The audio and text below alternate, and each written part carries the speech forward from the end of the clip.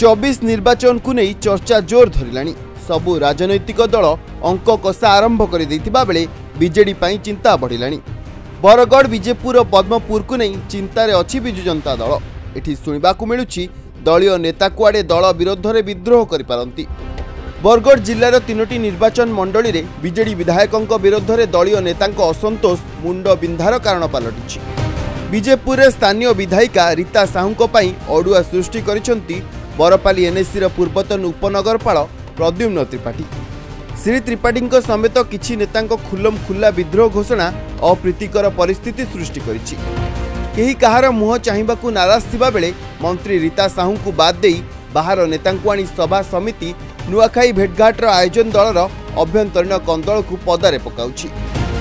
ବରପାଲି ଏନ୍ଏସିରୁ ସ୍ୱାଧୀନ ଭାବେ ବିଜୟ ଲାଭ କରି ଅଧ୍ୟକ୍ଷ ହୋଇଥିବା ଦିନେଶ ଗହିର ଆନୁଷ୍ଠାନିକ ଭାବେ ବିଜେଡିରେ ସାମିଲ ହେବା ପରେ ରୀତାଙ୍କ ପତିଆରା ବୃଦ୍ଧି ପାଇଛି। ଅତୀତରେ ବରଗଡ଼ରୁ କଂଗ୍ରେସ ବିଧାୟକ ଥିବା ସାଧୁ ନେପାକ ଏବେ ବିଜେଡିରେ। କଂଗ୍ରେସରୁ ଆସିଥିବା ସାଧୁ ନେପାକଙ୍କୁ ବିଜେଡି ରାଷ୍ଟ୍ରମନ୍ତ୍ରୀ ପାହ୍ୟା ପଦ ଦେଇଥିବା ବେଳେ ସେ ଏବେ ବିଧାୟକଙ୍କ ସହିତ ସମାନ୍ତରାଳ ବୁଲାବୁଲି କରୁଛନ୍ତି। ଗତ ପୌର ନିର୍ବାଚନ ସମୟରେ ଟିକେଟରୁ ବଞ୍ଚିତ ରହିଯାଇଥିବା ବରଗଡ଼ର ପୂର୍ବତନ ନଗରପାଳ ପ୍ରଶାନ୍ତ ବେହେରାଙ୍କ ଖୁଲମ ଖୁଲା ବିଦ୍ରୋହ ଘୋଷଣା ଦଳ ପାଇଁ ମୁଣ୍ଡବିନ୍ଧା ପାଲଟିଛି।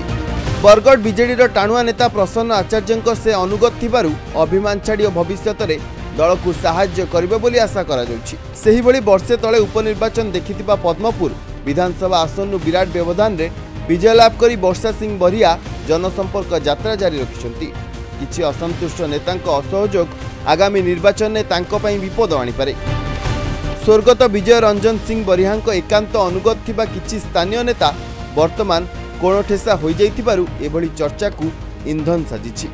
ଏହି ତିନି ନିର୍ବାଚନ ମଣ୍ଡଳୀର ଅସନ୍ତୁଷ୍ଟ ନେତାଙ୍କ ବ୍ୟାନରୱାର ଓ କ୍ୟାମ୍ପ ସବୁଠାରୁ ଅଧିକ ଗୁରୁତ୍ୱପୂର୍ଣ୍ଣ ହୋଇଯାଇଛି। ଏହି ଅସନ୍ତୁଷ୍ଟମାନେ ହୋର୍ଡିଂ ଓ ପୋଷ୍ଟର ସ୍ଥାନୀୟ ବିଧାୟକଙ୍କ ଫଟୋଚିତ୍ର ଦେଇନଥିବା ବେଳେ ମୁଖ୍ୟମନ୍ତ୍ରୀ ଓ ବିଜୁବାବୁଙ୍କ ଫଟୋଚିତ୍ର ସହିତ ଭଟଲି ବିଧାୟକ ସୁଶାନ୍ତ ସିଂଙ୍କ ଫଟୋଚିତ୍ରକୁ ସ୍ଥାନିତ କରିଛନ୍ତି। ବ୍ୟୁରୋ ରିପୋର୍ଟ ଖବର ଓଡ଼ିଶା।